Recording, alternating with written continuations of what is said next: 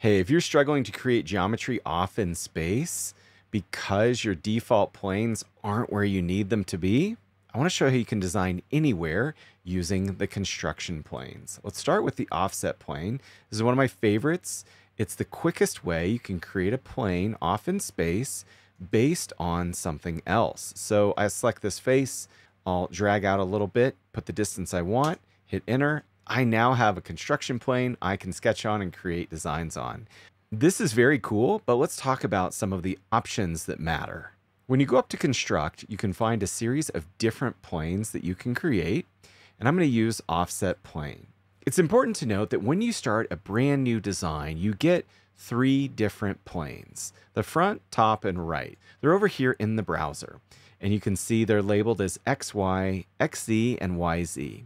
These three planes are actually infinite, so you can sketch anywhere that would line up with this plane that I'm on. So even though I've selected this plane, I can come over and sketch here because this plane would stretch to reach this. When you create a new plane, there's some interesting things that happen. You're going to get a construction folder over on the left, and this is where your reference planes will live. These are draggable in the sense of not their location, but their viewable scope. So I can drag these to make viewing them a little bit easier. It's not changing where it sits in space. These are infinite. It's just nice that you can drag them to make viewing them a little bit easier. And you can toggle the visibility. One note, you cannot stretch the original three planes. I'm not sure why. It's just, you're kind of stuck with their size. So let's say that you want to create a plane just like this face, but over in the design somewhere. I'll choose offset plane and I can use this face to start with. You can drag it to wherever you'd like it to go. You can type in a value, a distance. You can use just the drag handle, or you actually can select any point in space. So if I select this vertex, an interesting thing happens. It's not lining it up with this vertex no matter what. Instead, it's putting it at a distance that happens to line up with that vertex.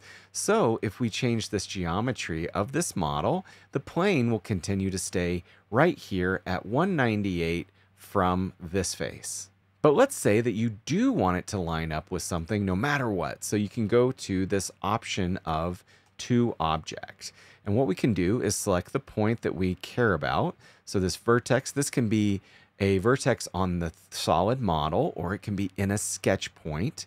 Select it, and it will reference that. And so if I were to scale this model up a little bit, click OK, before the plane happens, the plane will continue to update and reference this vertex. Let's say that we need to create a plane up above our model. I'll use this bottom face as our reference. I'll drag it up above and click OK. Now I can create a sketch up here in space.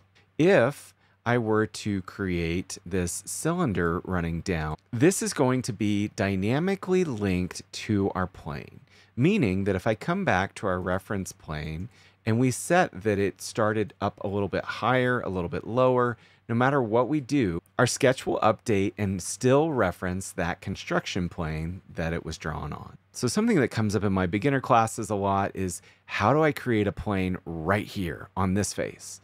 And I always ask, why do you need to do that? And they're like, well, I just want to create a sketch right here. Great. You do not need to create a new plane. Just simply come up to create sketch and you can select a face.